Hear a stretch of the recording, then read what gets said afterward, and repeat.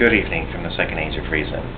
I am here to talk about that Supreme Court decision regarding unlimiting campaign funding by corporations and uh, some of the implications of it. Um, it was seen as being okay in regards that um, campaign contributions are seen as a means of expression like freedom of speech in the press, and that to limit the financial contributions is to limit a corporation's free speech First Amendment rights. Um, partly, I would wonder why they would say that corporations have uh, constitutional rights.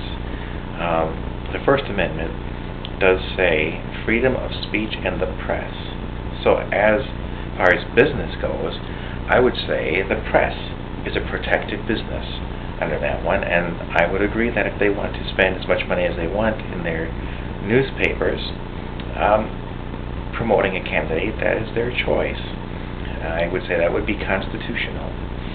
Um, that's the only business I know that is promoted in there. Uh, as far as uh, oil companies or um, manufacturing companies or service companies or financial companies, I don't see it. Uh, one example cited uh, to justify that was the movie Fahrenheit 911, uh, produced by Michael Moore. In that movie, it was seen to be a political statement of sorts. I'm not sure what candidate it was supporting, uh, but I'm sure he spent a fair amount of money to produce it and uh, get it distributed and whatnot. So in that regard, yes. And you could probably consider that to be freedom of speech um, in terms of producing a movie.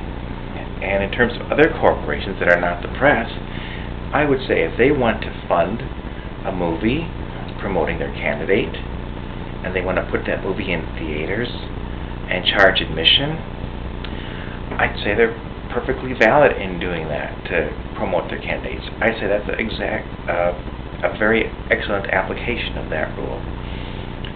The problem is that when it gets in terms of cash donations, material donations, whatever, the analogy breaks down.